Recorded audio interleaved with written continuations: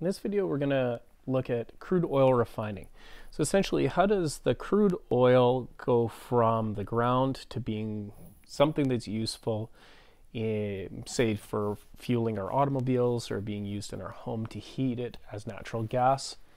Um, how do we how do we make that those series of steps? So one of the first things to understand is that crude oil is a product of the fossilization process. So you've got the sun is going to convert its, that solar energy is going to be converted to um, organic life through the process of photosynthesis, right? So that's nothing new. Um, and then that organic life is got a ton of, you know, sugars, proteins, fats, those sorts of things. So from plants or um, animals. Probably a lot of it is coming from microorganisms, right? Like plankton or something like that in the ocean. And if those things then get covered in sediments, and then those sediments become sedimentary rock, it basically it seals the organic life, that those organic molecules, under inside the sedimentary rock, and there's really almost no oxygen there. And so over time, this fossilization pro process makes crude oil, coal, and natural gas. Crude oil is a mixture of many hydrocarbons. And so crude oil is really a sticky mess and it is useless as crude oil. Um, what needs to happen is it needs to be broken into fractions of specific kinds of hydrocarbon specific sizes. So we want to make sure that our hydrocarbons are purified from that gross mess of crude oil into useful oil byproducts. Um, so crude oil can be found as crude oil from uh, underground resources, and it can usually be pumped out of the ground. Um, if it's light crude, it gets pumped out pretty easily. If it's heavy crude, you might need to use some heat and steam to make it less viscous. So oil is very thick, and heavy oil is extremely thick, and it's hard to pump. So it's kind of like a thick milkshake. You can't suck it through a straw very easily, but if you warm it up enough, um, you can get that to flow more easily. So sometimes crude oil needs to be heated up, but essentially it gets pumped out of the ground. Oil sand is different. Oil sands are a mixture of oil, crude oil, and sand, and that makes it extremely thick, dense, and kind of useless in its base state. Um, indigenous people uh, historically might have used some of that oil sand for sealing up um, birch bark canoes and, and things like that. And so there was it was purposeful, but there weren't a lot of purposes other than maybe being able to seal things up um, because it is so thick, firm, and and kind of messy and gross. So when you get oil sands, oil sands need to have the sand separated from the oil. So we'll talk a little bit about that.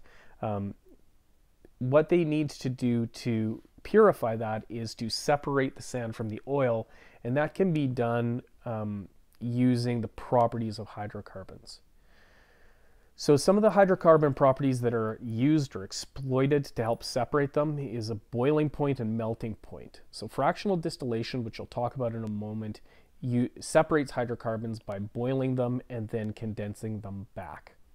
Solubility can be used to separate hydrocarbons um, because the alkanes, alkenes, alkynes, and aromatics are all nonpolar. And so there's varying amount of solubility. And sometimes you can use that to separate those um, hydrocarbons from other things that are more polar.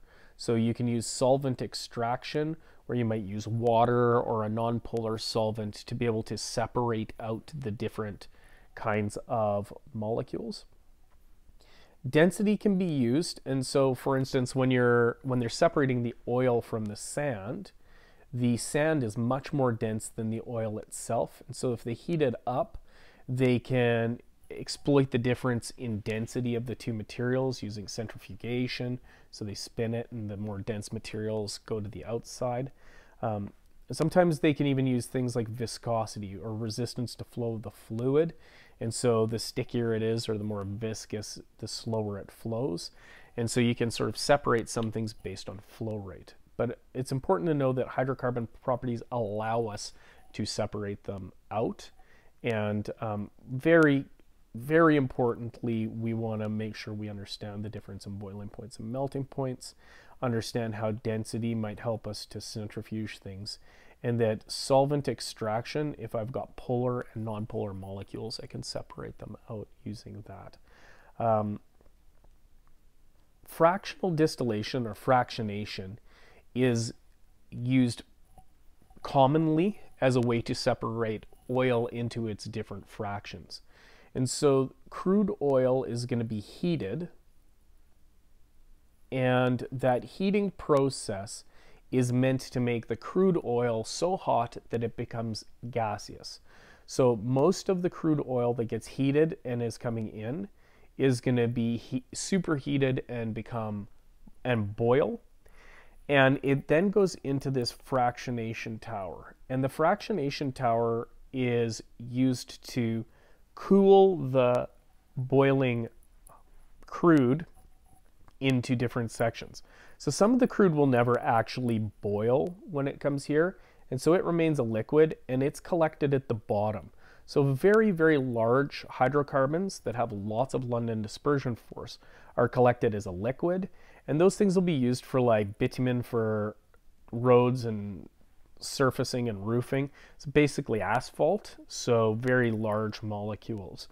Um, they don't actually get hot enough to be able to become gaseous. And then they cool. And so as you go up the tower, it goes from large molecules to small molecules, and they're cooled all the way down. And when they cool, they become a liquid, and they collect the liquid off at the different points in the tower, and that's called a fraction. So they collect the fraction of liquid at each step, and the biggest molecules are at the bottom, smallest molecules are at the top. These have a low boiling point, and these have high boiling points, right? So the size of the molecule plays a big role in here. And each of those different fractions can be used for different things. So we've got fuels for shipping, lubrications and oils, diesel fuel, jet fuel, car fuel, um, and then used for chemicals. And at the top, we get um, these really small ones, and these are going to be considered natural gas. And in Alberta, we use a lot of that. That is largely used for heating in homes.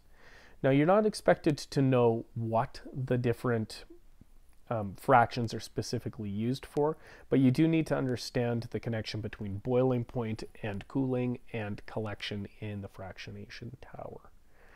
Um, give a quick breakdown in the next video of some more processing that goes along with with hydrocarbons. Um, so we'll do that in a moment.